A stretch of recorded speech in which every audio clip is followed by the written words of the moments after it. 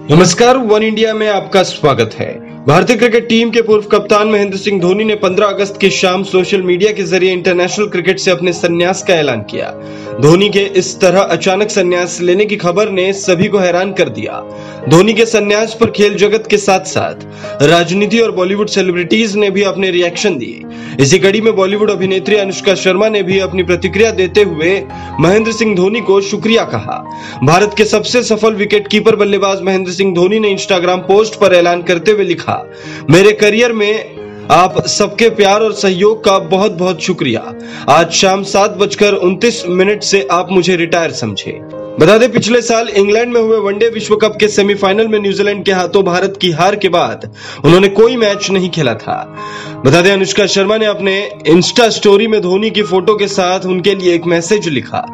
अनुष्का ने लिखा, शुक्रिया एमएसडी यादों के लिए, जिन्हें हम कभी नहीं भूलेंगे। महेंद्र सिंह धोनी टीम इंडिया के सबसे सफल कप्तानों में एक रहे हैं। महेंद्र सिंह धोनी के नाम वैसे तो कई रिकॉर्ड्स हैं, लेकिन एक ऐसा रिकॉर्ड है जो किसी के लिए भी तोड़ पाना नामुमकिन है। किसी भी कप्तान के लिए अब इस रिकॉर्ड को तोड़ पाना इसलिए नामुमकिन है क्योंकि आईसीसी ने 2017 चैंपियंस ट्रॉफी के बाद इस टूर्नामेंट को ही खत्म कर दिया है।